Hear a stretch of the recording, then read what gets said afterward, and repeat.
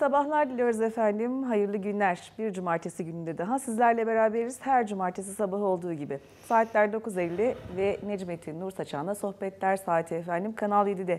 Hoş geldiniz, şerefler verdiniz. Bugün de İslamiyete ve sosyal hayata dair merak ettiğimiz ne varsa biz soracağız. Siz soracaksınız.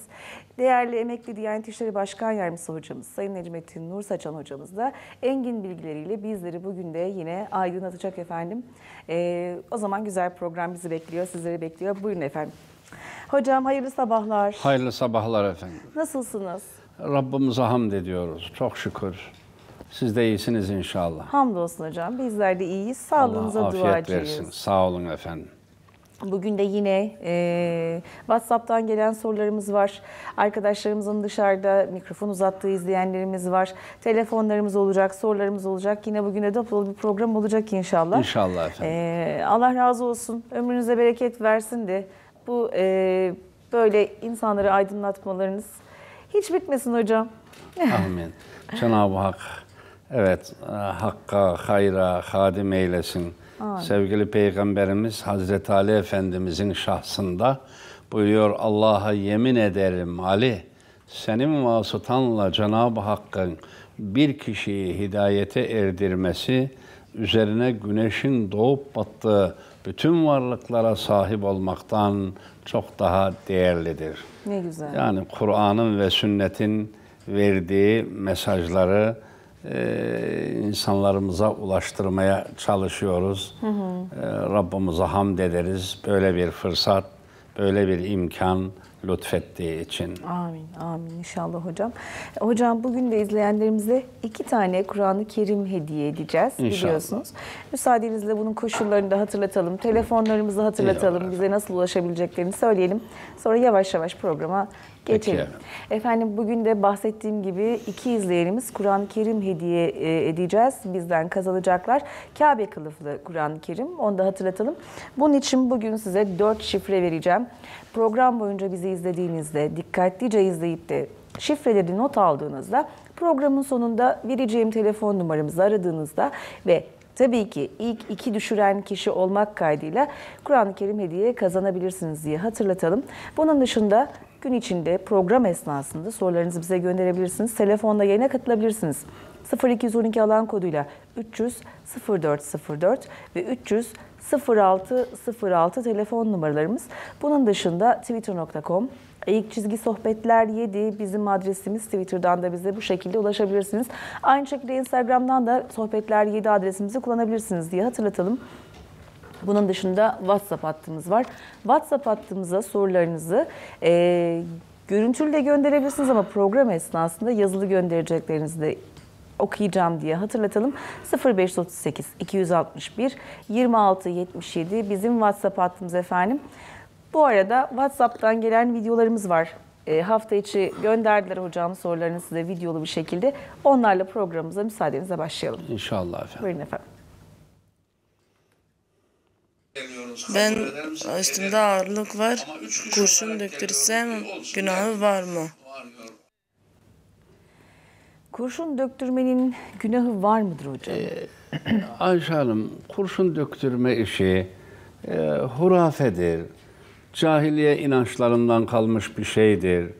Müslümanın e, işi sözü hikmettir, işi erdemdir. Böyle boş, şey, lüzumsuz, ilim dışı şeylerle uğraşacak zamanı, işi yoktur. E, bu- Bunlar geride kalmış şeylerdir. Bunlara itibar etmeyelim. Yani hadi diyelim kurşun dökülecek orada e, iki adama benzer bir şey görecek. Yorumu öyle yapacak. İki kişi sizinle uğraşıyor. E, Birisi esmer renkli, birisi de şöyledir. Şimdi sizin kafanız karışıp gidiyor. Ya bunlar kim olabilir? Yani biri eniştem olabilir. Biri de e, kayınbiraderim olabilir. Ha demek bunlar benimle uğraşıyorlar ha. Vay hainler vay. Şimdi düşmanlık gütmeye başladınız. Halbuki adamların ne ilgisi Suçu var, ne yok. haberi var, ne bir şey. Yani derken bunlar e, gerçekle, ilimle hiç ilgisi olmayan hurafe, yanlış şeylerdir. Bu- Buna zaman ayırmamalıyız. Peki. O zaman bir sonraki soruyla devam edelim hocam. Evet efendim. Buyurun arkadaşlar. İyi günler, hayırlı sohbetler hocam. Amin efendim. Ee, size bir sorum olacak. Ben yeni evliyim, evim, arabam yok. Birazcık da borcum var. Mihir olarak aldığım altınlarım var. Bu altınların üzerine para biriktirip eşimle birlikte e, hac ibadetine gitmek istiyorum. Fakat eşim e, tam paramız olmadığından, evimiz de olmadığından dolayı hac ibadetinin bize nafile ibadeti olarak geçtiğini söylüyor. Benim mihirimi bozduğumda üzerine para biriktirip hacca gitmem mi daha doğru olur? Yoksa dünyevi bir mala harcamam mı daha doğru olur? Bu konuda bilgi verirseniz çok sevinirim. İyi günler hocam. İyi günler efendim. Rabbimiz bakın velillahi alen nasi haccul beyti men isteda ileyhi sebila. Kabe'yi ziyaret etmeye gücü yetenler için Allah'a karşı bir borçtur, bir görevdir. Eğer gücüm yetiyorsa farzdır. Ee, yaptığım ibadet e, farz olan bir ibadettir. Eğer gücüm yetiyorsa geciktirmemek yani ömrü midir, fevri midir meselesi var.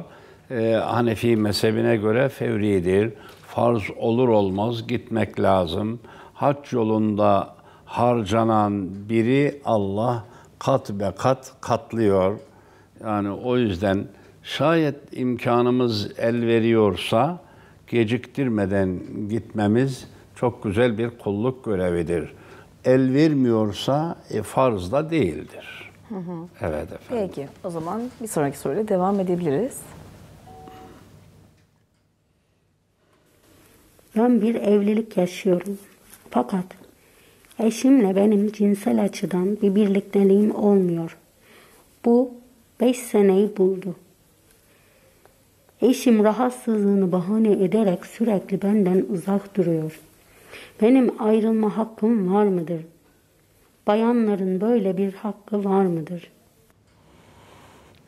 Evet, siz iyi anladınız mı Ayşe Hanım? Hocam, e, hanımefendiyle eşi e, birlikte olamamışlar. 5 yıldan beri sıkıntıları varmış evlilik açısından. E, bununla alakalı benim boşanma hakkım var mı der. Eşi yaklaşmıyor der. E, yani beş yılda az zaman değil. Yani evlilik amacına ulaşmamış oluyor. E, Boşanma hakkına, yetkisine sahip oluyor bu durumda. Hı, Peki. Evet. Bir sonraki soruyla devam edebiliriz o zaman. Selamünaleyküm hocam. Hayırlı sabahlar. Size iki sorum olacak. Birisi, birinci sorum. Benim oğlum vardı. 2014'te kanser hastası oldu. 2014'te vefa, 2014 2016'da vefat etti. Hocam sizden ben oğlumu rüyamda görmek istiyorum. Ama bir türlü göremiyorum. Onu çok istiyorum rüyamda görmek. Hep gece yatar diyorum. Allah'ım bana kuzumu göster. Bir kokuluyum, bir öpeyim. Bir şey istemiyorum diyorum Allah. Çok istiyorum. Ama hocam hiç rüyamda görmüyorum. Hep dua okurum, Kur'an okurum. Yasin okurum. Hatim inirim onun şeyine indim. Ağlıyorum ama isyan ederek değil. Sadece gözlerimden yaş alarak ağlıyorum. Allah'tan geldik, Allah'a gideceğiz. Elbet ben onun yanına bir gün gideceğim diyor. Allah'ım sabrımı bol ver. Elimden aldın, kalbimden de al diyorum dedim. Ama rüyamda görmek istiyorum hocam, göremiyorum hiçbir zaman için. Acaba neden gelmiyor, bana küsmük ediyor oğlum. Efendim yani e, oğlumuz tedavisinde e, güç yetiremediğimiz bir hastalıkla dünyadan ayrılmış. Anne yüreği tabii buna dayanmak kolay değil. Ama bakın sevgili peygamberimiz Hazreti Fatıma dışındaki evlat acılarının hepsini yaşamış. Torunlarının da Hazreti Hasan'la Hüseyin radıyallahu anh'ın da çok acı bir şekilde dünyadan ayrılacaklarını Rabbimiz bildirmiş. Bize bildirse biz ne yaparız acaba? Deliririz herhalde ya, hocam. Ama Efendimizin Yüzünden tebessüm hiç eksik olmuyor. Asık yüzlü de hiç olmuyor. Yani oğlu İbrahim'in vefatında ağlıyor. Ya Resulallah siz de mi ağlarsınız? E, gönlümüzün meyvesi bizden alındı. Gönlümüz mahzun olur. Gözümüz yaş döker. Ama dilimizden de Allah'a isyan olan söz çıkmaz. Ee, Hazreti İbrahim'in annesi diyor ki yani e, Efendimizin oğlunun annesi yani süt müddetini tamamlasaydım da e, oğlum öyle ölmüş olsaydı Efendimiz buyurdu Allah ona cennette bir süt anne görevlendirdi. Onun süt müddetini süt annesi orada tamamlayacaktır diye buyuruyor. Hulasa demek istiyorum ki Peygamberimiz Efendimiz evlat acılarının hepsine sabretmiştir. Hanımefendinin oğlu tedavisinde gücümüzün yetmediği bir hastalıkla dünyadan ayrılmış. İnşallah ona şefaatçi olacaktır. İnna lillah ve inna ileyhi raciun. Ya Rab bizim sahibimiz sensin. Bizden bizde senin hükmün geçer. Hepimiz senin huzurunda toplanacağız. Rabbimiz cennetinde, cemalinde birleştirsin. Rüyada göremiyorum diye kederlenmemeli, gamlanmamalı. Duvarı nem öldürür, yiğidi gam öldürür. Dilden gamı dur eyle, Rabbinle huzur eyle, tefvizi umur eyle. Yani işlerini ona emanet et. Yoksa e, duvarı nem öldürür, yiğidi gam öldürür. Yani kederi bırakmalıyız. Hanımefendi ben isyan etmiyorum diyor ama tabii durmadan gözyaşı döküyor. İster istemez kederleniyor. Kederlenince bu bünye idraki meali bu küçük akla gerekmez. Zira bu terazu bu kadar sıkleti çekmez. Sarraf terazisiyle tutalım da e, 20 kiloluk yağı tartalım. Olmaz terazi kırılır gider. Yani o en fazla 1 kiloluk altını tartar yoksa 20 kiloluk. Ya, ya bu beden de belli kederi, e, bu nitelikteki kederleri taşıyamaz, çekemez. Yani organlarımızdan birinde bu e, ben tahammül edemedim, ben iflas ettim der, çıkar karşımıza. E, O yüzden dert bir iken iki etmemeli. E, Mevlana öyle diyor. Derdin içinde devayı gör. Acının içinde tatlıyı gör. Oğlumuz bizden ayrıldı ama bu vesileyle oğlumuz bize şefaatçi olacak, teşrifatçı olacak. E, bu, bu acının içinde bu tatlıyı görmek yeter. Ona sığınmalı. Ve men yetevekkel alallahi fehu hasbeh. Kim Allah'a dayanıp güvenirse Allah ona yeter. Rabbimiz e, sab- sabrı cemil versin ve kolaylaştırsın. Sabrı kolaylaştırsın inşallah. Amin inşallah. Peki o zaman bir sonraki soruyla devam edebiliriz. Selamünaleyküm hocam. Size bir sorum olacaktı. Buyurun efendim. Hocam ben evlendiğim günden beri eşimden şiddet görüyorum. E, bayağı bir olaylar falan yaşadık zaten. Hocam haşa Allah peygambere küfrediyor. Hocam e, ben ondan razı değilim haşa o da benden razı olmasın diyor. Onu hocam doktora gittim. Belim çok ağrıdığı için kırık olduğunu söyledi ve bunu e, kendisi yaptı hocam. E hocam ben bu şartlar altında boşansam bana günahım var mı? Yok mu hocam? E bunu öğrenmek istiyorum. Ayşe Hanım bunu Şimdiden teşekkür ederim. hanım kardeşimizin bu sözlerini e, seyircilerimiz de iyi anlasın diye siz Tamam. anladıysanız tekrar, Tekrar edelim. edeyim.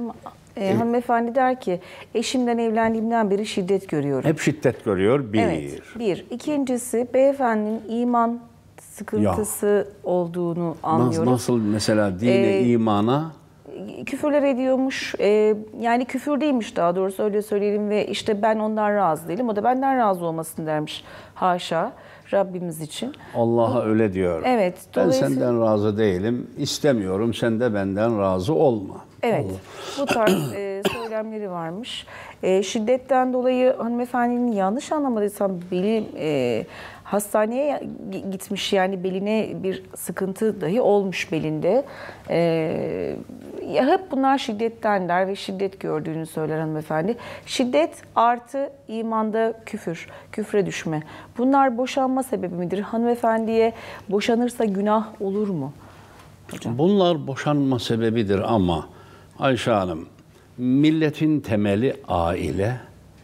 Aile sağlamsa millet sağlam. Aile çürükse millet çürük. Ailenin temeli de sevgi, saygı, sabır, sadakat. Müminin dünyadaki cenneti aile ocağıdır. Rabbimiz e, kendi cinsinizden eş verdim ki huzur bulasınız, mutluluk duyasınız, saygı ve sevgi duyasınız diye buyuruyor. Acaba yani bu oğlumuzu, yani oğlumuz bence e, karanlıklar içerisinde, bunalımlar içerisinde oğlumuz.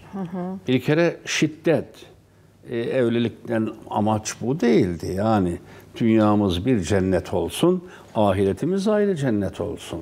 Dünyada mutlu olalım ki ebedi hayatta da mutlu olmaya kazanalım. Oğlumuz dünyada şiddeti, yani e, kızımıza şiddet uyguluyor da kendi mutlu mu? Kendi de mutlu değil. O, o madde bir. İki, e, haşa bakın bunu kesin bilelim. Yani kutsal değerlere e, sövmek, saymak dinden, imandan uzaklaşmaya sebep olur Ayşe Hanım. Öyle olunca ne olur? İman gittiği gibi ebedi cehennem tevbe etmeden gidecek olursa ebedi cehennem yolcusu olur. Ve nikah da gider. Nikah da gider. Zaten devam ettirelim deseler de din bunu onaylamaz. Oğlumuz bunları bilmeli. Bu kadar gaflet olur mu? Bu kadar sapıklık bir Müslüman evladına yakışır mı? Evet. Ve bakın hanıma şiddet uyguluyor. Fıtık olmuşsun diyor doktor değil mi? Öyle mi? Galiba hocam. E, öyle yani bakın e, bu da yani yuva kurduk ki hayatı birleştirdik ki dünyayı cennet gibi yaşayalım diye. E, biz cenneti cehenneme çeviriyoruz. Olur mu bu? Ha, ben derim ki yani oğlumuzu eğer buradan kurtarırsak ne büyük sevap kazanırız. Yani o da bir Müslüman oğlu Müslümandır ama onu kurtarmaya çalışmak ve bunda da başarılı olabilirsek ne iyi. Ama gücümüz yetmiyor ne yapalım? Adam kendi durmadan cehennem yolunu tercih ediyor. Ben Allah'tan razı değilim, o da benden razı olmaz. Ne cüret yahu bu? Ne cehalet bu? Ya. Ya e, buna buna inanarak söylüyorsa zaten kızımıza devam et dememize imkan yok. E, Rabbimiz ıslah eylesin, ikaz eylesin. Bu türlü sapıklıktan insanlarımızı aydınlığa kavuştursun. Amin. Amin. Peki o zaman bir sonraki soruyla hocam Evet. müsaadenizle buyurun devam edelim arkadaşlar. Ben şu an 40 yaşındayım. 30 yaşına kadar mükemmel bir insandım. Namazımı kılardım, orucumu tutardım, Kur'an'ımı okurdum. Ama 10 senedir Kur'an da okumuyorum, namaz da kılmıyorum. Hiçbir şey yapmıyorum. Hiçbir şey canım istemiyor. Nas- Neden hocam? Ya şimdi efendim hanım kızımız gerçeği böyle itiraf ediyor, ifade ediyor. Ama bu neye benziyor biliyor musunuz? Kazanmışken kaybetmek, yükselmişken düşmek çok acıdır. Yani şu insan iki metreden düşerse belki bir şey olmaz ama 12 metreden, 22 metreden düşerse hayatta kalma şansı pek görülemez. Yani daha önce müminken, ibadetini yapan bir insanken şimdi ne iman, ne ibadet, e, bütün bunlardan uzaklaşmak çok acıdır, çok acı. Bakın bir Zeyd ibn Harise var. Zeyd ibn Harise radıyallahu anh kim bu? Yemen taraflarından kaçırılmış, getirilmiş, pazarda satılmış.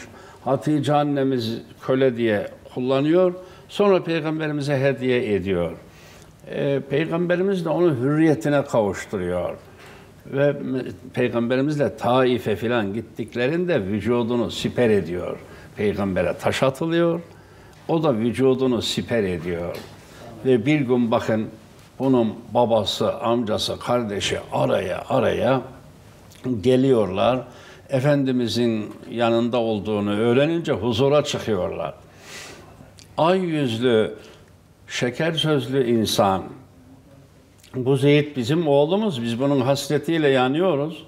Aramadık, yer bırakmadık. Nihayet sizin huzurunuzda olduğunu öğrenince buraya geldik. Ne olur şu oğlumuzu bize ver. Karşılığında para istiyorsan para verelim. Köle istiyorsan köle verelim. Öyle değil diyor. Onu çağırayım ben. O nasıl karar verirse öyle hareket edelim. Zeyd şu adamları tanıdın mı? Tanıdım. Kim? Şu babam, şu amcam, şu da kardeşim. Zeyd seni istemeye gelmişler. Karşılığında para veya köle teklif ediyorlar. Sen gideyim dersen ben ne köle ne para istemem. Serbestsin. İşte baban, işte amcan, işte kardeşin. Ya Resulallah her ne kadar bu babam, bu amcam, bu kardeşim ise de benim babam da sensin, amcam da sensin, kardeşim de sensin. Bir an ben senin yanından ayrılmak istemiyorum. Onlara teşekkür ederim. Zahmet etmişler Yemen'den buralara kadar gelmişler. Adresimi öğrendiler. Fırsat bulursam ben onları ziyarete giderim. Onlar da istedikleri zaman buraya gelebilirler diyor. Bakın şu kaz ta Yemen'den gelen kişi nasıl kazanıyor? Komutan oldu bilahare kendisi Zeyd ibn. Oğlu da keza Efendimizin e, ordusuna komutan oldu Usame Hazretleri. Ama bir de Ebu Leheb'e bakın. Kim bu? Peygamber amcası. Peygamber amcası kaybediyor. Yemen'den gelen köle kazanıyor. Şu işe bakın. Peygamber amcası tebbet yeda ebi lehebin ve tebbe Ebu Leheb'in elleri kurusun. Nitekim kurudu. Ma ağna anhu maluhu ve ma keser. Malı, mülkü, itibarı ona fayda vermedi. Kendisi de, eşi de alevli cehenneme girecektir. Çünkü eşi de diken toplayıp getiriyor, Efendimizin güzergahına döküyor, ayaklarına batsın diye. Şu işe bakın, yani peygambere çok yakın, hatta amcası kaybediyor ve Kur'an'da Allah tarafından protesto edilen bir suret, sure ile ebediyen böyle anılıyor. Ama bir Zeyd ibn Harise de radıyallahu anh diyerek anıyoruz. Allah ondan razı olsun diye anıyoruz. Yani demek istediğim şu. Bu hanımefendi önce kazanmış sonra kaybetmiş. İnsan kaybettikten sonra kazansa güzel şeyi o Evet. ama kazandıktan sonra kaybederse, yükseldikten sonra düşerse çok acı. Söyleyeceğim söz nedir? Öyleyse en kısa zamanda tevbekar olmalı. Tevbe demek ne demek? Allah'a dönmek. Tevbe ya Rabbi hata rahına gittiklerime, bilip ettiklerime, bilmeyip ettiklerime demeli. Hemen Allah'a yönelmeli. Peki hocam. Teşekkür ediyoruz. Bu arada Kur'an-ı Kerim hediye edeceğiz demiştik. Dört tane şifremiz olacak bugün demiştik. İlk şifremizi şu anda veriyorum efendim. Dört şifrenin tamamını alıp programın sonunda 0212 300 0404 ve 300 06 06'dan bizi arayarak e, ulaştıran ilk iki izleyicimize iki tane e, Kur'an-ı Kerim'imiz var efendim hediye edeceğimiz Kabe kılıflı. O zaman ilk şifremizi şöyle verelim. Kabre hazırlıksız giren. Efendim ilk şifremiz kabre hazırlıksız giren diyelim ve bir sonraki sorumuzla WhatsApp'tan gelen videolu sorumuza devam edebiliriz. Ben 9 yıldır yemek borum kapanmış. Akalaz yastası diyorlar. Ve ben bunun bir ameliyatını geçireceğim. Bana dua etmenizi istiyorum. Ve ben hiçbir şey yemememe rağmen oruç tuttum hocam. Bunun hayrı var mı? Efendim, e, Yüce Rabbimiz şifa ihsan eylesin. Amin, Kardeşimizle birlikte cümle hastalarımıza Eşrafi ismi şerifi hürmetine şifalar ihsan eylesin.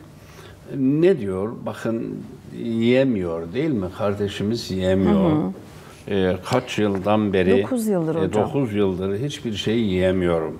Muhakkak ki doktorlar da sen oruç tutma. Eğer oruç tutarsan hastalığın iyi olmaz, gecikir. Muhakkak ki doktorlar da böyle demişlerdir. Ama buna rağmen bu kardeşimiz diyor ki ben oruç tuttum, doğru mu yaptım diyor. Doğru yapmadı. Doğru. Bu din bize eziyet olsun diye gelmiş değil.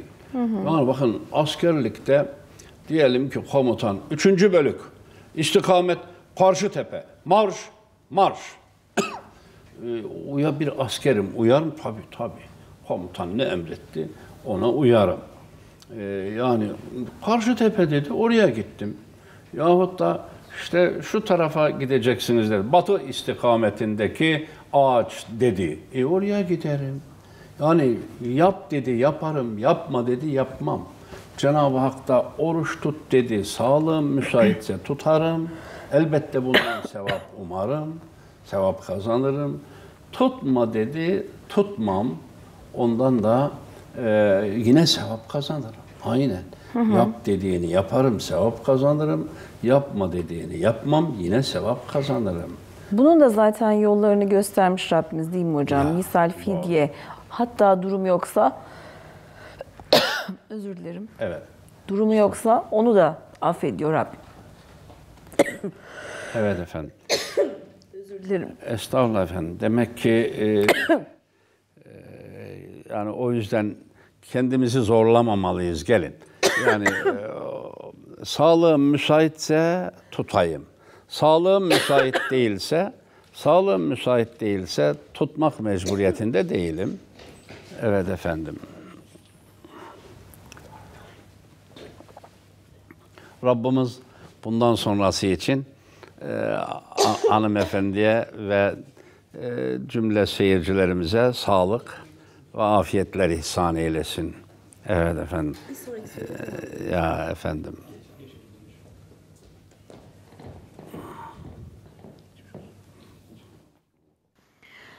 Selamun aleyküm Necmettin Nur Saçan hocam. Ee, bir bayram günü kayınpederim eşimle beni çocuğumu kapının önüne koydu. O gündürden beri hüngür hüngür her zaman hemen hemen her Allah'ın günü ağlamaktayım. Laflarıyla sözleriyle bana halen daha huzursuzluk veriyorlar. Çok da gözyaşı döküyorum. O mübarek bayram günü de çok ağlamıştım.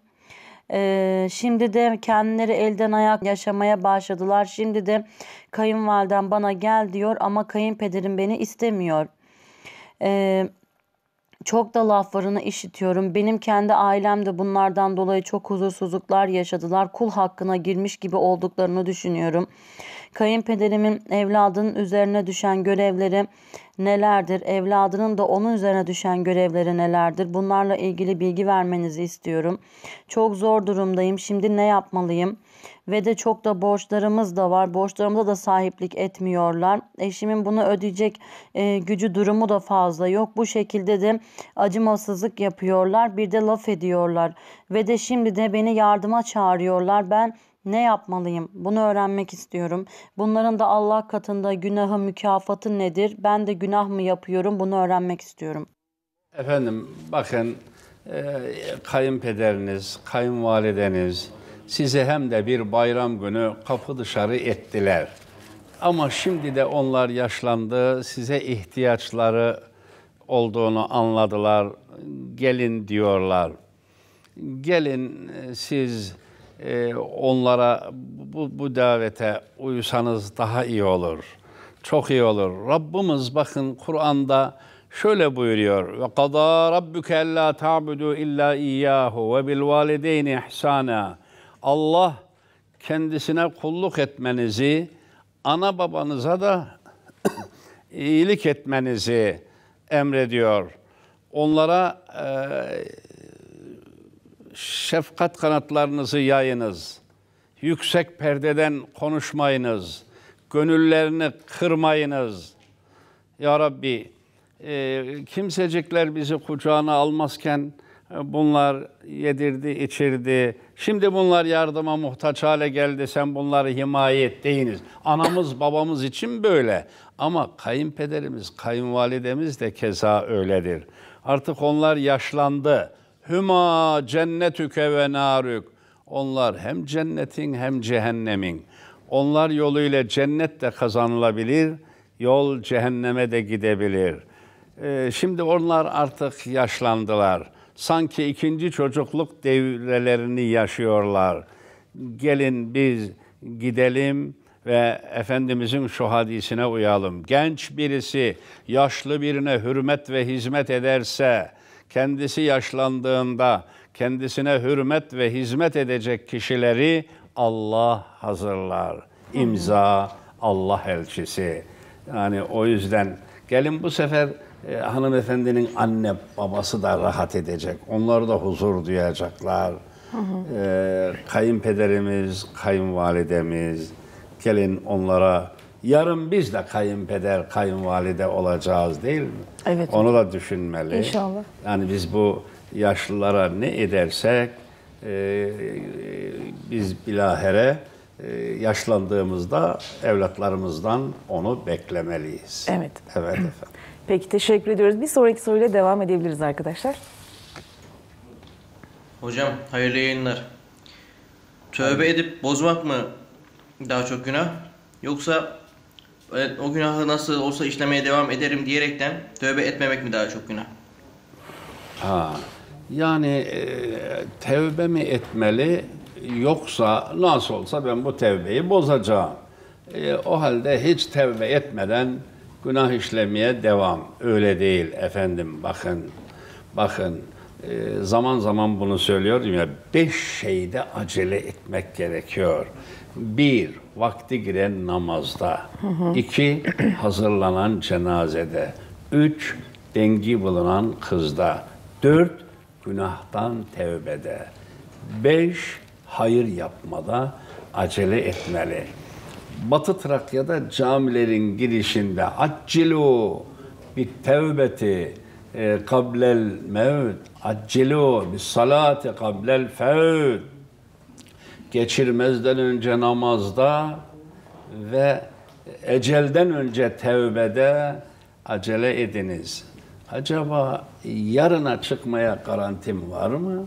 Öyleyse bunu fırsat bilip hemen tevbekar olmalıyım. Tevbekar olmalıyım. Ve tubu ilallahi cemiyan eyyuhel müminune leallekum tuflihun. Topyekun hepiniz tevbekar olunuz ki mutluluğa erebilesiniz. Bir günde yüz kadar tevbe ederim diyen peygamberin bağlısıyız biz. Evet efendim. O yüzden o yüzden nasıl olsa ben bu tevbeyi bozacağım. O düşünceyle zaten tevbe ol. Tevbe ne demek? Allah'a dönmek. Pişman olmak. Pişman olmak. Yaptı. Ben Allah'ın mülkünde yaşıyorum. Onun nimetleriyle besleniyorum.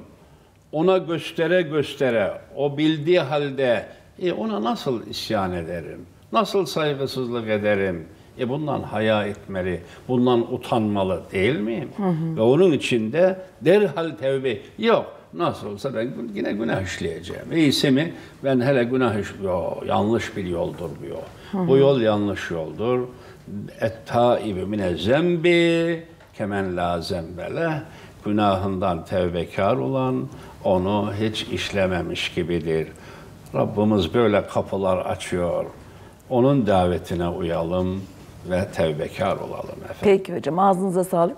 Efendim reklamlar var şimdi ama Tamam. Reklamlardan sonra ayrılmayın. İkinci şifremiz geliyor. Efendim reklamların ardından devam ediyoruz. Necmettin Nur Saçan'la Sohbetler programındasınız. Bugün hocam sesimde birazcık bir sıkıntı var. Geçmiş olsun olur efendim. ya. Az önce de bir Ya. e, şey atlattık. Tabii. Badire atlattık. Diyorum Geçmiş ki olsun, tabii. hayat böyle bir pamuk ipliğine Ya. bağlıymış değil mi hocam? Ya, Ya, mi? Nefes almak ne kadar önemli bir şeymiş. Ne kadar Allah'a muhtacız değil mi? Değil mi hocam? Ya. Yani bir nefeste iki nimet var. Yani iki defa ölümden nefesi almasak ölürüz. Vermesek ölürüz. hı. Aman ya Rabbi bir nefeste iki defa ölümden kurtaran Allah. Ya. Ona ne kadar muhtacız. Ya. Ya eyyühen nasu entümül fukara'u ilallah. Ey insanlar hudutsuz ihtiyaçlarla Allah'a muhtaçsınız. Tilket darul ahiretu nec'aluha lillezine la yuridune uluven fil ardı ve la fis sema. Ebediyet yurdunun mutluluğunu yeryüzünde kibri kurur, haset fesat taşımayanlara vermişizdir. Vel akibetu lil müttekin. Hüsnü akibet, ebedi saadet müttakiler içindir. Demek ki ölümü de düşünmeli. Bir an görüyor musunuz? İnsan nefes alamayınca gidiyor. Öyleyse ona hazır olma. Evet. Akıllı kişi ölümü ve ölüm ötesini e, hatırlayan ve hazırlanandır. İmza Allah elçisi. Peki. Bu vesileyle de özür dileyelim az önceki verdiğimiz rahatsızlıktan dolayı. Efendim e, telefonlarımız var hocam. İzleyenlerimiz hattımızda. Bu arada hatırlatalım az sonra e, Kabe kılıflı Kur'an-ı Kerim için e, ikinci şifremizi de vereceğiz. Ayrılmayın hiçbir yere. Telefonumuza devam edebiliriz bu arada. İzleyenimiz hattımızda. Alo. Alo, iyi günler. Buyurun efendim iyi günler. Hoş geldiniz. Hayırlı sabahlar. Bulduk. Hayırlı sabahlar. Hayırlı günler hocam. Teşekkür ediyoruz efendim. Ee, benim kız kardeşim 20 haftalık hamile. Ee, fakat e, gebeliğin devam ettirmesini istemiyor doktorlar. Çünkü hiç suyu kalmamış bebeğin. Hareket alanı çok dar şu an. Ve e, bebek, bebeğin bir tane böbreği yok. Bir tanesi var, onda bebeğin bö- böbreğinde kist var. Ee, bu yüzden dolayı bütün uzmanlar hani 5-6 tane hekime gidildi. E, gebeliğin sonlandırılması gerektiğini söylüyorlar. Fakat kardeşim hani kalbi atan bir canlıyı diyor hani canını ben vermedim sonlandırmak istemiyorum diyor. Hani bu konuda ne yapılmalıdır onu sormak istiyorum yani. Hocam e, Evet efendim. ben bu konuda şunu sorayım öncelikle. 18 haftalık hamile e, hanımefendinin kız kardeşi. Fakat doktorlar bebeğin Ne kadar? 18 haftalık yani 4,5 aylık Doğru. e, ortalama. E, ve şimdi doktorlar burada bebeğin rahatsızlıklarından bahsediyorlar. Anne karnında suyun bitmesinden bahsediyorlar. Dolayısıyla da e, gebeliğin sonlandırılmasını öneriyorlar. Bir de böbreği, böbreğinde mi sıkıntı vardı bebeğin? Evet bebeğin bir böbreği yok zaten. Bir böbreği tanesinde yok. de kist var. Hı. Ve kist var olan böbrekte de. Peki hocam böyle bir durumda anne de diyormuş ki bu çocuğun canını ben vermedim ben alamam. Rabbimin verdiği canı ben alamam der. Ee, burada bebeği hayatını sonlandırırken, hamileyi sonlandırırken e, kıstasımız ne olmalı hocam? Anne ne güzel söylemiş. Anne ne güzel söylemiş. Değil mi? Ayşe Hanım şimdi dünyada bazı insanlar var. Engelli insanlar var. Evet. Bu engelli insanlara diyelim mi ki sen engelli insansın. Bırak ne yaşamaya ne hakkın var senin? Onu diyebilir miyiz? Engelli. E biz de biz de şu anda sağlıklıyız ama biraz sonra başımıza ne geleceğini bilmiyoruz. Evet. Potansiyel engelliyiz biz Değil mi de. hocam? Biz de potansiyel engelliyiz. Yani o halde sen engellisin, senin yaşama hakkın yok. Vur boynunu. Yok böyle böyle demeye kimsenin ne hakkı ne yetkisi yok. E, anne karnındaki çocuğa var mı öyleyse? Daha hiç yüzünü görmediğimiz bebeğe senin yaşama hakkın yok ya. Sen dünyaya gelsen engelli geleceksin. E, ne lüzum var? Gelme daha iyi. Hiç görmeyelim. Anne karnındayken makası uzatalım. Kıtır kıtır seni keselim. Allah Allah. Bunu demeye yetkimiz yok, hakkımız yok. İyi ama engelli gelecek. E gelsin. E benim imtihanım o. Ya imtihansız kul yok. İşte o imtihanı kazanabilmek. Ona sabredeceğim, tahammül edeceğim, annelik edeceğim, babalık edeceğim. Cennet ucuz değil tabii ya. O yüzden e, ancak Ayşe Hanım şu şartla aldırma yetkisi olur. Doktorlar heyeti diyor ki eğer bu bebek alınmazsa bu annenin hayatiyetini sürdürmesi mümkün değildir. Yani annenin sağlığı için bebekten vazgeçeceğiz. İşte o zaman anne köktür, bebek daldır. Kökü koruma uğruna daldan vazgeçilebilir. Anladım. Peki efendim var mıdır başka sorumuz?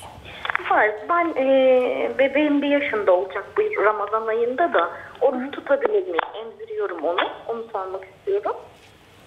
Ee, bebeğinizi emziriyorsunuz bir yaşında. Evet. Olacak bu Ramazan'da inşallah. İnşallah. Ee, Rabbim uzun ömürler oruç versin. tutabilir miyim diyorum. Hani oruç Yani. Emziren mu? yani. Tutmak oruç istiyorum. tutmama, oruç tutmama ruhsatını veriyor dinimiz hanımefendiye. Eğer tutabilirse zor kendisi ve bebeği zorlanmayıp da oruç tutabilecekse tutar. Yok tutmay tutamayıp da zorlanacaksa bilahere tutmak üzere Ramazan günü oruçlarını tutmaz.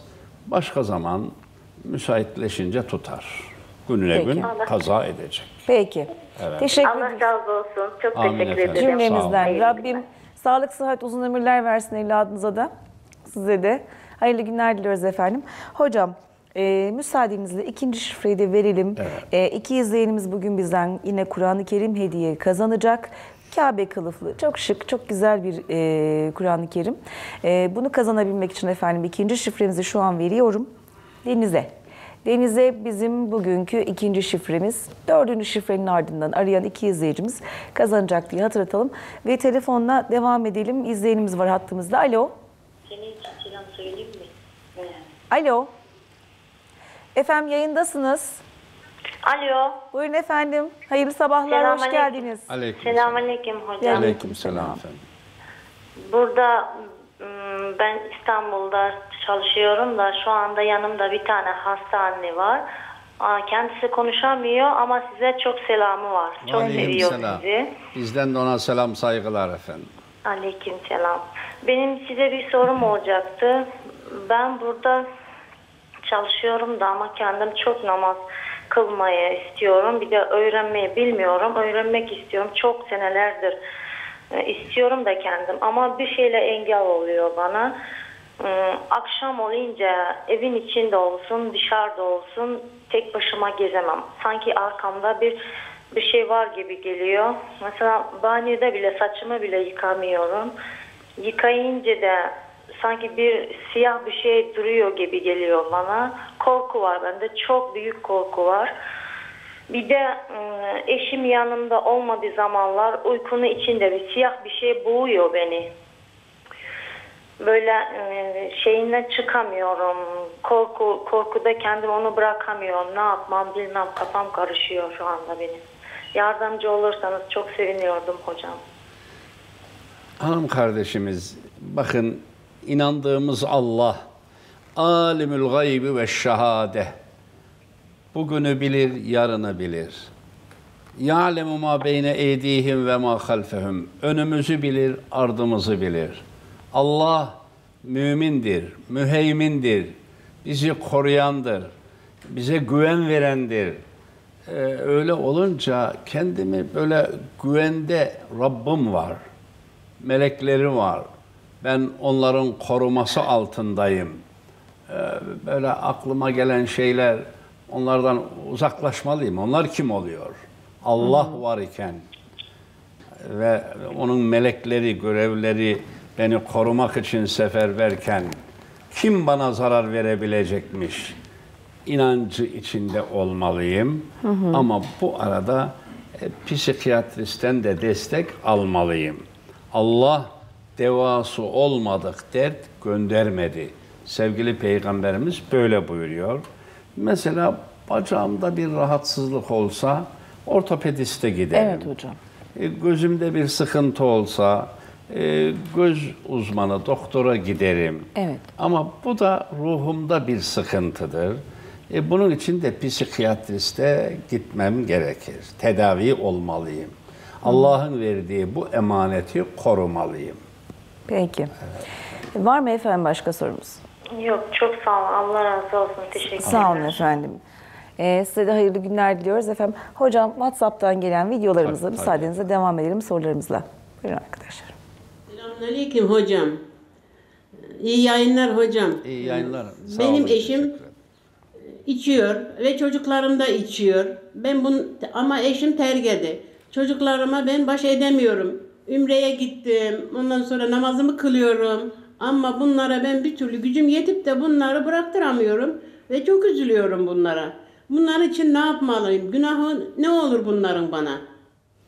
Efendim siz bir anne olarak e, yani Efendimiz bakın buyuruyor ki hiçbir ana ve baba İslam terbiyesinden daha iyi miras bırakmamıştır. Siz evlatlarınızı İslam edebi üzere yetiştirmek için elinizden geleni yapmışsınız. Ama buna rağmen buna rağmen eş ve çocuklarınız e, haramdan bir türlü yani yanlış yoldan doğru yola bir türlü gelmiyorlar. Hı E hı. o zaman hanımefendinin sorumluluğu kalmaz. Yanmanın, yakılmanın yeri yok. Ama ama sorumluluk, vebal onlardadır. Hı hı. Ee, onları eğer kurtarabilirsek çok büyük kar etmiş oluruz. Çok büyük kazanç. Vel müminune vel müminatu ba'duhum evliya'u baz. Mümin erkekler, mümin kadınlar birbirlerinin yarıdır, yardımcısıdır. Rabbimiz böyle buyuruyor. Yani onların hayra, hakka, doğru yola gelmesine eğer vesile olabilirsek ne mutlu bize. Ama gelmiyorlar, buna rağmen gelmiyorlar. O zaman benim yanıp yakılmama, yıkılmama gerek yoktur. Hı hı. Kaybeden onlar olur. Peki. Peki efendim. O zaman bir sonraki WhatsApp sorumuzla devam edebiliriz Doğru. müsaadenizle. Aleyküm hocam. Ee, ben bir takım sokak hayvanlarına bakıyorum. Kedi ve köpeklere bakıyorum. Ee, ancak köpeklerin bazıları dişi. Ee, bunların ileride daha çok problem yaşamaması için bunları kısırlaştırmayı düşündüm. Ee, biraz araştırdım. Bazı kaynaklar günah olduğunu söylüyor. Bazı kaynaklar günah olmadığını söylüyor. Bu konuda ne yapabilirim hocam? Ee, şimdi ben bunlara elimden geldiği kadar bakıyorum ama sürekli doğum sürekli doğum yaptıktan sonra yani belli bir zaman sonra benim yerleşim yerim de değişecek.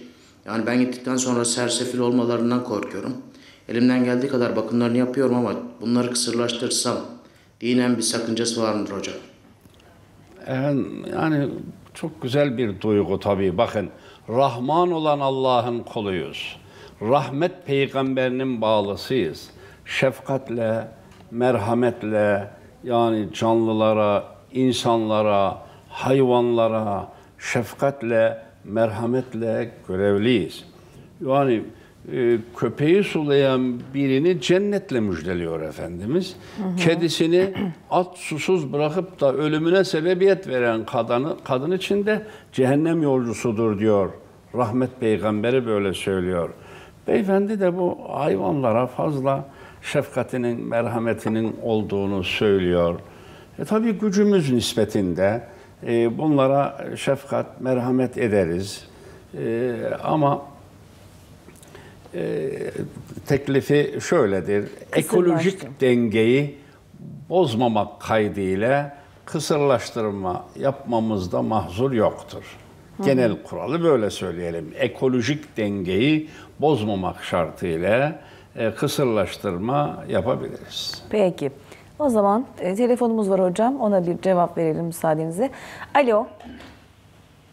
Alo. Buyurun efendim hoş geldiniz. Hayırlı sabahlar. Hoş bulduk. Hayırlı sabahlar. Ee, Selamünaleyküm hocam. Aleyküm selam efendim. Hocama benim bir sorum olacaktı. Buyurun efendim dinliyoruz. Buyurun hocam e, annem memlekette kalıyor. Büyük biraderimle abimle yani anlaşamıyorlar. Ben ayrılmak istiyorum dedi. Beraber kalıyorlardı. E, ben de onları e, ayrılmasına vesile oldum. Günaha girer miyim? Ee, ayrılmalı. Yani şey ayrıldık, kavgalı ayrıldık. Kız kardeşlerimle ve onlarla hepsiyle kavgalı ayrıldım. E peki ama şimdi ayrı, ayrıldılar da iki tarafta mutlu mu oldu ayrılınca? Yani annem mutlu. Annen mutlu, evet. Yani annemin hani söylemesi e, şeyle gelinle iyi anlaşamadığı için abi abimle anlaşamadığı için Yani ayrılmak istiyorum dedi. Evet. Ben de vesile oldum ayırdım. E, iyi ettiniz. Yani şimdi anneniz huzurlu. Yani şu anki söylemesi Allah razı olsun diyor. E, iyi, do- doğrusunu yaptınız ama tabii e, kardeşiniz ve gelin hanım da e, kırgın dargın olmamalı. Yine ziyarette kusur etmemeliler. Yani böylece annenizi başka yolla da olsa onlar memnun etmelidirler. Hocam şöyle söyleyeyim aşağıya iniyor. Bayram günü bile elini öpmeye inmiyor. İşte Şimdi ben ya. onu nasıl şey yapayım? Onu bak, bunu ne güzel başarmışsın. Şu andaki huzuru sağladın ama e, bu da senin kardeşin, kardeşin eşi, onlar bayram günü ya. Değil anne de. Yani şurada yardıma muhtaç yaşlı bir hanım var. Elini öpelim, duasını alalım. Bir ihtiyacı varsa giderelim demez mi insan ya? Ya. Annem nasıl ya? Annemin nasıl elini öpmem? Yani dünyadayken kıymetini bilmiyoruz. Ben anneme elhamdülillah bir saygısızlığım olmadı. Ama şu anda diyorum ki annem hayatta olsa elini bırakır da ayağını öperim diyorum. Evet. Yani bu insanlar nasıl kadir kıymet bilmezler ya. Allah'ın elçisi niye öyle buyurmuş? El cennetu tahta akdamül ümmehat. Cennet anaların ayağı altındadır. Niye böyle buyurmuş Allah'ın Resulü? Ya. Onların duasını almalıyız. Evet efendim. Yani şimdi Rabbim rahmet soran eylesin. kardeşimize yakışan güzellik yani annesiyle kardeşinin şu anda sulhu, huzuru sağladı ama bundan sonrakinin devamını da sağlarsa işte yiğitliği o zaman yapmış olur. O da güzel kar kazanmış olur efendim. Peki. Hayırlı günler diliyoruz o zaman efendim. Ee, WhatsApp'tan gelen bir sorumuz var hocam. Onunla devam edelim yine. Hayırlı sabahlar hocam. Hayırlı sabahlar. Benim bir sorum olacaktı. Ee, benim ablam ailemin istemediği birisiyle evlenmek istiyor. Ee, fakat ailem karşı. Ee, ailemin bu durumda ne yapması gerekir? Efendim yani şimdi bakın ailenin, ananın, babanın Şafii mezhebine göre izinleri şarttır. Hanefi'ye göre de ana baba ne için itiraz edebilirler? E, bu oğlan bu kıza denk değil diye itiraz edebilirler. Hı hı. Yani buradan anlaşılıyor ki e, yani velinin izni şarttır. Bu önemli bir karardır. Bu evlilik kararı önemli bir karardır. yani hem dünya hem ahiret mutluluğunu hedef alan bir hayattır. Ee, öyle olunca biz böyle 5 kilometreyi görürüz ama ana baba onlar cahil kültürsüz insanlar demeyelim. Onlar alim değil de ariftirler onlar. Hı hı.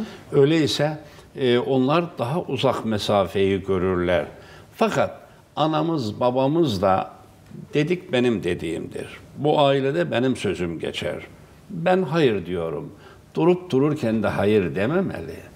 Yani biraz önce söyledim ya acele etmek iyi değil, acelecilik ama bazı işlerde aceleciliği tavsiye ediyor dinimiz. Dengi bulunan kızda acele etmeli diyor. Yani incirin çekirdeği var, üzümün çöpü var. İstemiyor benim canım bu aileyi öyle öyle de olmamalı yani. Hı hı. Yani kızımızı da zorda bırakmamalıyız. Kızımızla açık kalpli, arkadaş gibi bu konuyu konuşmalıyız.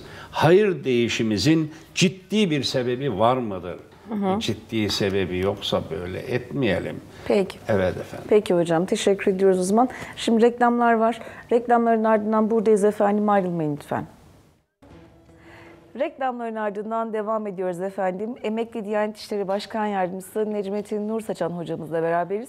Her cumartesi olduğu gibi bugün de yine biz soruyoruz, siz soruyorsunuz. Necmettin hocam da engin bilgilerinden faydalanarak bizleri e, aydınlatıyor.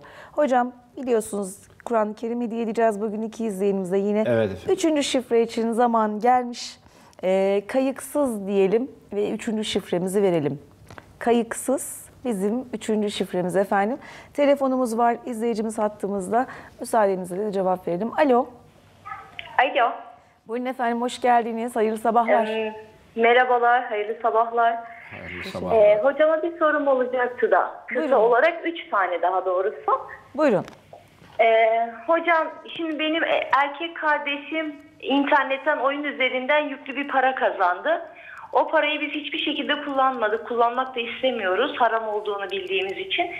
Ee, kardeşim bunu bedelli askerlik çıkarsa onda kullanmak istiyor. Bu bunda yine günah mıdır diye sormak istiyorum. Ve ikinci sorum ise eşimle ben gurbette olduğum için çok sorun yaşıyoruz. Ee, iki kere tartışmamız oldu. Birincisinde ben ona artık o benim dünya ahiret kardeşimdir dedim ama yine barıştık. Diğerinde ise bir ay aramızda küslük oldu. Ee, annemin evine gittim ve üç ayda hiç konuşmadık. Bu nikaha zarar vermiş midir? Ee, şimdi bir şey sormak istiyorum. Bu ikinci sorunuz biraz daha teferruatlı aslında. Ee, isterseniz soru soru gidelim. Ee, gurbette olduğumuz için sorun yaşıyoruz dediniz. Evet, Nasıl bir evet. Gurbet? Yani eşinizle beraber ailenizden mi uzaksınız? Yoksa eşiniz mi gurbette çalışıyor? Yok, benle eşim benim ailem tarafı yani kendi memleketimden uzağım. Onun memleketindeyim.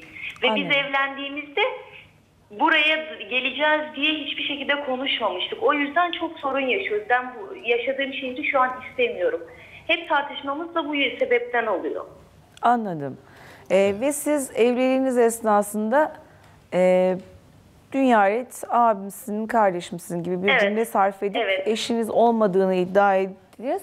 Ve bu dönem bir ay görüşmediniz mi? Annenizin evine gittiniz. Ee, Doğru mu bunu anladım? söyledim bir ay konuşmadık sonradan barıştık. İkinci büyük tartışmamızda ise aynı evin içerisinde bir ay küs kaldık ve annemin evine gittim. Üç ayda hiç konuşmadık.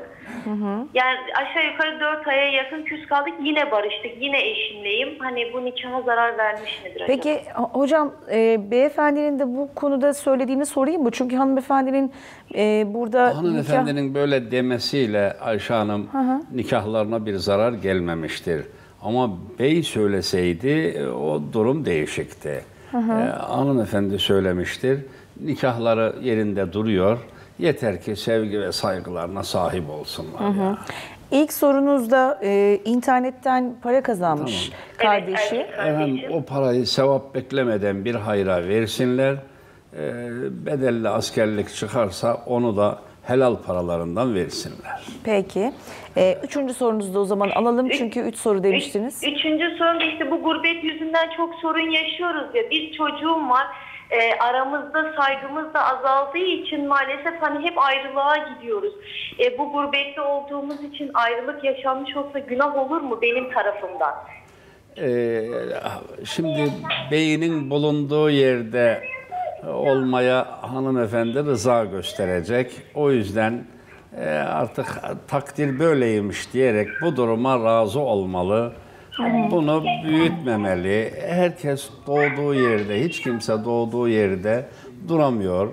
Hayatın şartları, bakıyorsunuz ki hiç akılda, hayalde olmadı. Benim bir oğlum hiç düşünmezdik mesela Afrika'da bakın. Evet ya. hocam. Hı hı. Allah Allah. Hiç aklımıza gelmezdi. Kaderi ilahi gidip orada iş tutmak durumunda kaldı. Yani böyle oluyor işte insanlar. Ee, ben işte evlenirken kendi memleketimizde olmayı düşünüyordum. Karşımıza bura çıktı. Ben gurbete dayanamıyorum. E, Ama gurbet değil. Rabbimiz var, melekleri var, onların kulları var. Rabbimiz bizim rızkımızı da burada vermiş. Öyleyse ben bu hayata rıza göstereceğim demeliyiz efendim. Hı hı. Peki efendim. Teşekkür ediyoruz o zaman. Hayırlı günler diliyoruz. Teşekkürler. Hayırlı günler. Sağ olun. Sağ olun efendim. Hoşçakalın. Bir telefonumuz daha var hocam. Alo. Alo. Efendim e, peki hattan düştü sanıyorum. WhatsApp sorularıyla devam edelim hocam. Buyurun lütfen arkadaşlar. Ben küçükken oruç tutmaya çalışıyordum ve orucumu bozdurmaya çalışıyorlardı. O zaman ben mi günah giriyorum yoksa karşı taraftaki kişi mi? Küçükken e, izleyicimiz oruç tuttuğunda karşı taraf bozduruyordu, birileri bozduruyordu diyor. Bo- e, bozmak zorunda kaldığımda günah bana mıdır, karşımdakine Evet, dediler? ne, ne e, küçükken o yavrumuzadır ne de bozduranalardır. Ş- Herhalde bu küçükken oruç tutuyordu. E, sen küçüksün tutma hatta ye iç demişlerdir. Mükellef olmadığı için oğlumuza bir sorumluluk yok. Ötekiler de zaten bu çocuktur dayanamaz hele yesin demişler. Hı hı. İki tarafa da bir vebal yok vesselam. Peki. O Evet. zaman bir sonraki WhatsApp sorumuza devam edebiliriz. Ben liseye gidiyorum. E, sınavlarıma çalışıyorum. Tevekkülüm falan hepsini yapıyorum ama yani beklediğimden daha düşük notlar alıyorum. Sınav esnasında daha iyi bir not almamız için okunacak dualar var mı? Varsa söyler misin?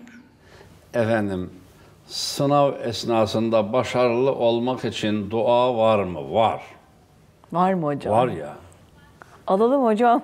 Şimdi işte dikkat çekeyim diye vurguluyorum bunu. Hı hı.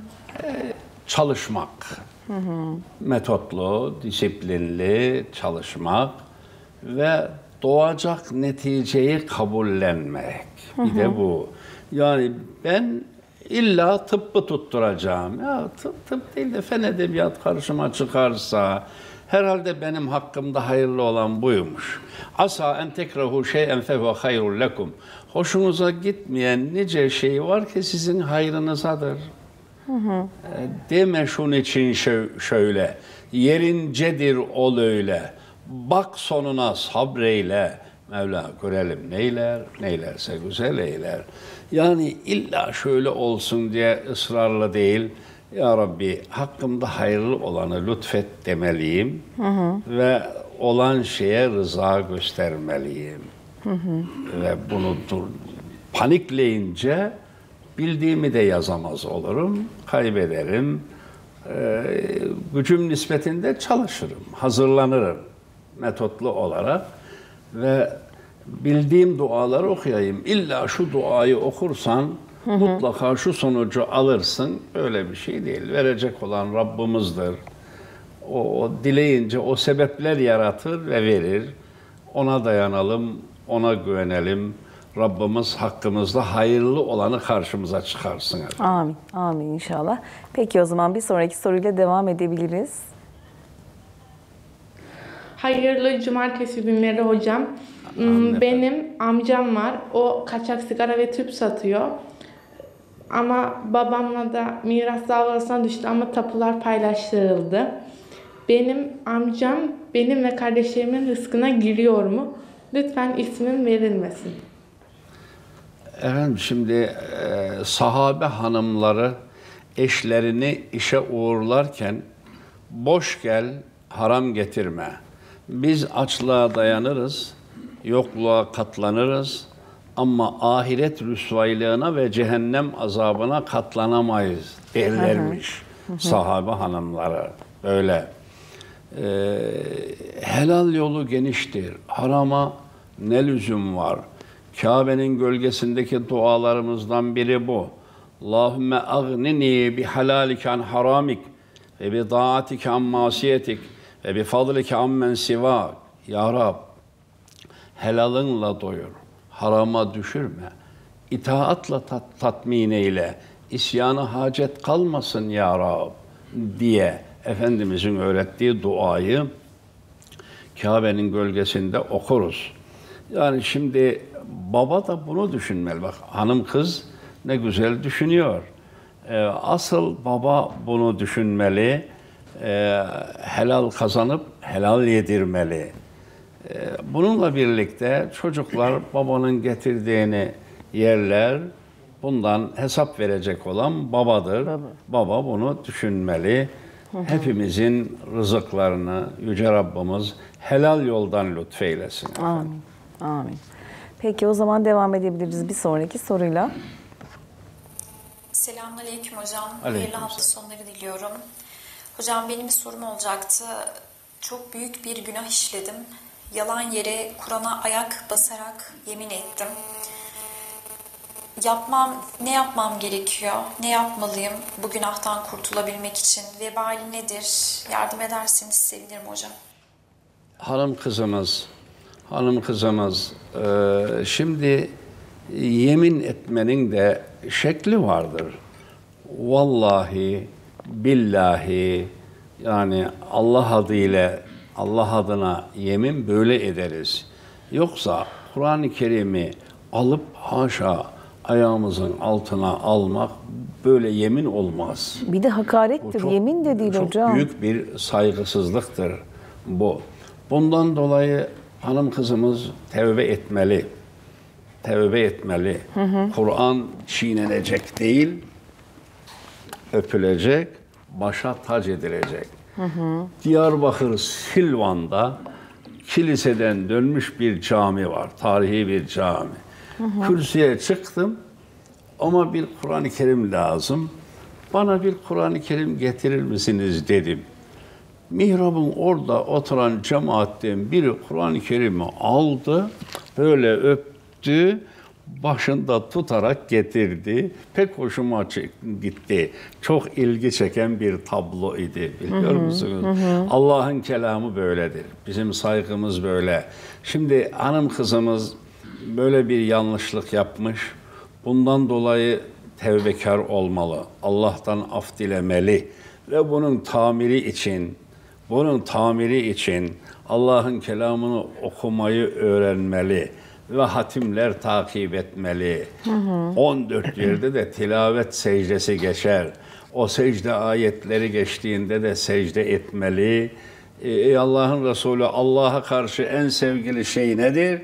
Sona varıp başa dönmek. Sona varıp başa dönmek. Allah'ın kelamını hatmetmek. Men erade en yükellime rabbahu felyakra'ul Kur'an. Allah ile konuşmak isteyen Kur'an okusun. Hı hı. Sevgili Peygamberimiz böyle bu. Allah ile konuşmak demek ki sevgili kızımıza benim tavsiyem bundan dolayı af dilemeli ve bu işin kazası için bir arkadaşım şimdi hakkın rahmetine kavuştu. Allah rahmet Ee, Ayşe Hanım değerli bir ilim adamı kendisi. Almanya'ya gitmiştim konferans için diyor. Ee, otele geldim, televizyonu açtım. Affedersiniz tam bir seher vakti, teheccüd namazı kılınacak bir zamanda e, müstehcen bir program. Yani onu hemen kapatmadım. Ama bu yaptığımdan dolayı yüreğim yandı. Ben şu seher vaktinde bunu seyretmeli miydim ben?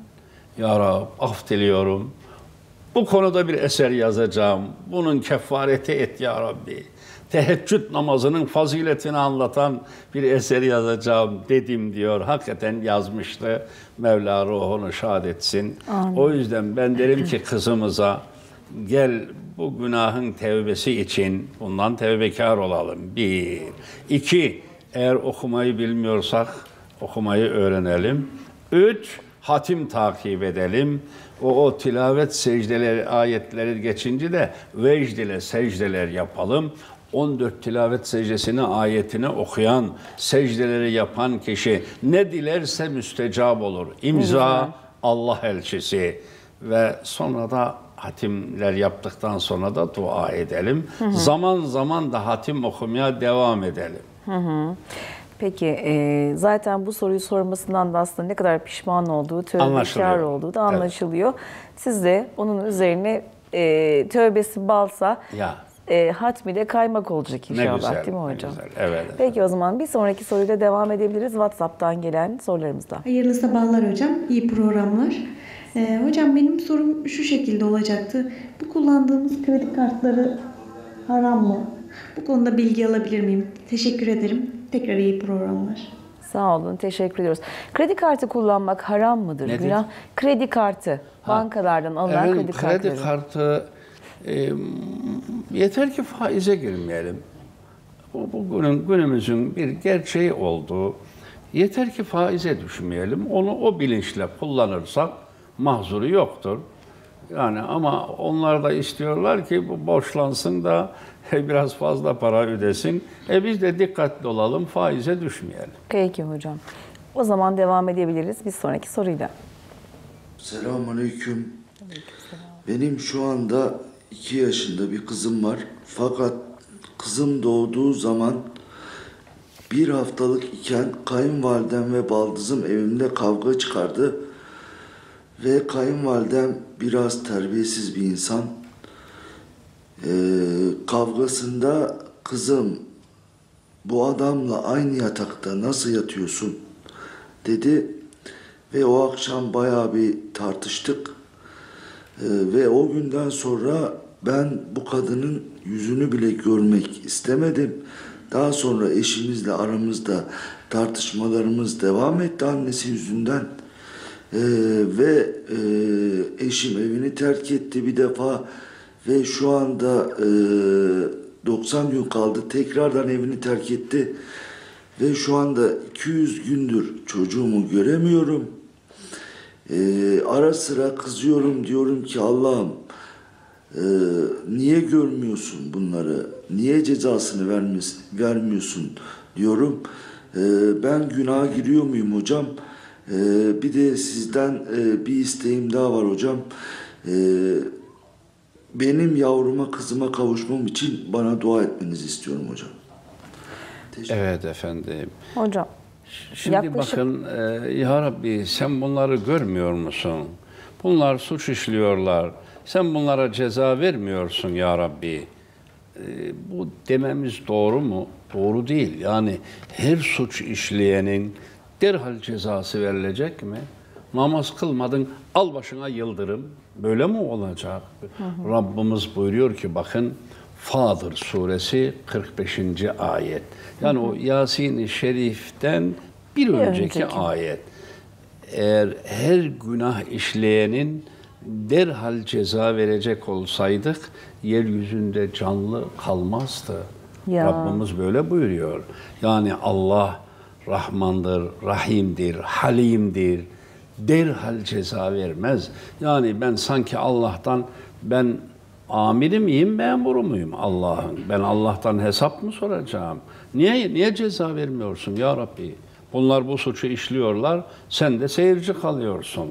Böyle olmaz, böyle dememeliyim. Hı hı. E, işlerin düzelmesini bakın aklımızı başımıza alsak, biz kuluz bunu bilsek ve yaptığımız yanlışlardan dönsek, Hı hı. hataları düzeltsek dünya cennet haline gelmez mi? Dünyayı cehennem ettik başımıza.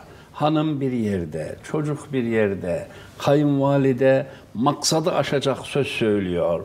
E bu delikanlı bundan çok moralini bozuyor. Ağzını bozuyor. Ya Rabbi ne, ne, diyor, duruyorsun yani? Bunlar böyle suç işliyor, sen de bir şey yapmıyorsun. Hı hı. Böyle dememeli. E, bu yaptıklarımızdan tevbekar olmalı. Yani e, yanlışın neresinden dönürse orası kardır. Aklımızı başımıza almalı ve Hı hı. kötülüklerden vazgeçmeli. Peki hocam. O zaman müsaadenizle bir sonraki soruyla Tabii. devam edebiliriz. WhatsApp üzerinden gelen sorularımızla. Bu arada ben e, sizlere WhatsApp'a nasıl video göndereceğinizi hatırlatayım e, müsaadenizle.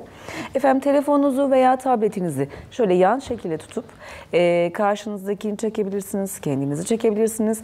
Merak ettiğiniz İslamiyet'e dair ve sosyal hayata dair ne varsa bize gönderin. Göndermeniz için de WhatsApp hattımız 0577. O numaramıza da gönderdiğinizde hafta sonu programımızda videonuz yayınlanır ve hocam da eee, cevabını sizlere iletir diyelim. Bir sonraki soruyla devam edelim. Hocam selamun aleyküm. Aleyküm selam. Hocam benim hacim 8 sene oldu. Çıkmadı. Bazen ağlıyorum, bazen üzülüyorum. Bunun bana günahı var mı? Saygılar sunuyorum hocam. 8 yıldır hac çıkmıyormuş beyefendiye. İzleyenlerimize bir, bir kez daha hatırlatalım soruyu hocam. 8 yıldır çıkmıyor. Ağlıyorum, üzülüyorum diyor. Bunun günahı var mı? diye sorar. Efendim bakın Tebük seferine giderken sevgili peygamberimiz sahabeye şu konuşmayı yapıyor. Ashabım şu anda bazı arkadaşlarınız var ki mazeretleri dolayısıyla sizinle birlikte sefere katılamadılar. Hı hı. Ama mazeretleri olmasaydı onlar sefere katılacaktılar. Onlar bu niyetleri dolayısıyla sizinle birlikte bu vadileri aşıyor, bu dereleri geçiyor gibi sevap kazanıyorlar. Hı hı. Niyetül mümin hayrü min ameli. Müminin niyeti amelinden daha hayırlı. Yani e, beyefendiye düşen nedir? Müracaat etmek, sıraya girmek. Ama Kur'a e, bu yıl müracaat edene çıkabiliyor. Hı hı. 10. yılı bekleyen kişiye çıkmamış olabiliyor. E, bundan dolayı böyle e, tevekkül etmeli. Rabbimin takdiridir. Onun münasip gördüğü zaman gideceğim diye o sırayı beklemeli ve ümitsizliğe kapılmamalı.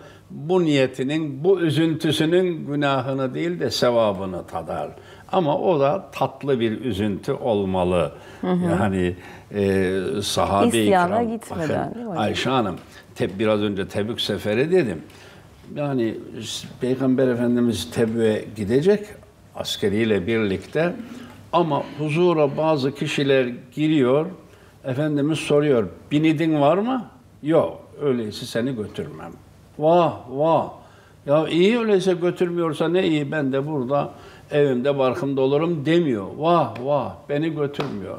Çıkmış dışarıda öyle ağlıyor. Onunla birlikte yedi kişi. Mevlana diyor ki onların gözyaşı Cibril'in eline geçseydi alır da kanadına süs diye takardı. Fakat diğer maddi durumu müsait olanlar kardeşim niye ağlıyorsun? Ya götürmüyor Peygamber aleyhisselam beni. Niye götürmüyor? Binidin yok diye götürmüyor. Binidin bende. Senin binidini ben temin ediyorum. Böyle böyle diyorlar. Ve işte Efendimiz ne diyor Tebük'te? Şu anda bazı kişiler var ki e, mazeretleri sebebiyle sizinle birlikte gelemediler. Ama eğer mazeretleri olmasaydı sizinle birlikte gelecektiler. Sizinle beraber bu dereleri geçiyor, bu vadileri aşıyor gibi sevap kazanıyorlar. Yani Hı hı. ben de kura çıkmadı, üzülürüm, sevap kazanırım bundan dolayı. Ama ileride götürmem. Ee, sıramın çıkmasını, kuramın çıkmasını beklerim. Peki hocam ağzınıza sağlık. O zaman e, bir sonraki soruyla devam edelim. WhatsApp'tan gelen. Selamun Aleyküm hocam. Aleyküm selam. Rahmetli annem eşimin ablasına emzirdiğini bana e, söyledi. Eşimle benim aramda herhangi bir süt bağı var mıdır? Teşekkür ederim. Şimdi bakın bu konudaki genel kuralı söyleyelim. E, Beyefendi de zaten bu kurala göre kendi durumunu belirleyecektir. Emenin emenin nefsi emzirenin nesli haramdır. Süt kardeşliği konusunda emenin nefsi emzirenin nesli haramdır. Bu anlattığı tabloya göre süt kardeşliği söz konusu değildir. Allah mesut eylesin. Amin, amin. O zaman hocam sıra geldi dördüncü şifremize. Tamam. Bugün de e, iki izleyenimize Kur'an-ı Kerim hediye edeceğiz dedik. Kabe kılıflı çok güzel bir Kur'an-ı Kerim hediye edeceğiz. Bunun için son şifremiz açılmış gibidir. Dördüncü ve son şifremiz açılmış gibidir. 0212 alan koduyla 300 0404 ve 300 06 06'dan bizi arayıp düşüren ilk, iz, ilk iki izleyenimiz Kabe kılıflı e, Kur'an-ı Kerimlerimizden kazanacaklar diyelim ve bir sonraki WhatsApp'la bu arada devam edelim WhatsApp sorumuzla. Selamun Aleyküm hocam. Size bir sorum olacak. Ben 17-18 yıl önce kendime e, gün boyu, gün aşırı böyle hemen hemen her çok ciddi beddualar ettim. Ve ondan sonra da çok ciddi sorunlar yaşadım. Olumsuz şeyler yaşadım. Ee, ve daha sonra da e, tövbe ettim, beddua etmemeye tev- tövbe ettim. Allah tövbemizi kabul etsin. Üstümüzden bedduaları kaldırsın. İnşallah. Sizin de bana önereceğiniz ne olabilir? Beddualarımın üstünden kalkması için sizin de bana öner- önereceğiniz ne olabilir? Hocam kişinin kendine bedduası var. Doğru. Yani kendi aleyhine beddualar ediyor. Ya Rabbi beni kahreyle, beni Canımı al. mahveyle. Yani değil kendimize, bir başkasına da şu dilimizi bedduaya değil, duaya alıştırmalıyız. Hı hı. Evet. Ee, ama şimdi bak ne diyor kendisi beddualar ettim, çok sıkıntılar da yaşadım. E şimdi ya bundan dolayı da pişmanım. E bundan dolayı tabii tevbekar olacak. Enne de mütevbetün. Pişmanlık tevbedir. Bir daha da böyle ne başkasına ne kendi aleyhinde beddua etmeyecek. Dua nitekim de şimdi nitekim de şimdi dua ediyor. O Hı hı. bedduadan vazgeçmiş. Biz de kendimizi böyle planlayalım, böyle hazırlayalım. Ne başkasına ne kendimize, hele özellikle evlatlarımıza beddua değil, dua edelim. Cenab-ı Hak iki cihanda aziz eylesin. Güç yetmez, Amin. takat gelmez. Ee, bizi imtihanlarla karşılaştırmasın. Amin. Ve kulluk imtihanımızı kolay eylesin. Amin. Amin inşallah. Peki o zaman bir soruyla daha devam edebiliyoruz sanıyorum. WhatsApp'tan.